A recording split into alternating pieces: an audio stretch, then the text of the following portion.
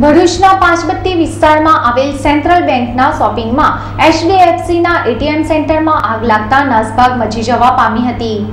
બનાવની મળતી માહિતી મુજબ ભરૂચના હાડસમા વિસ્તારમાં આવેલ સેન્ટ્રલ બેંકના શોપિંગમાં આવેલ એચડીએફસીના એટીએમ મશીનમાં શોર્ટ સર્કિટના કારણે આગ લાગતા નાસભાગ મચી જવા પામી હતી.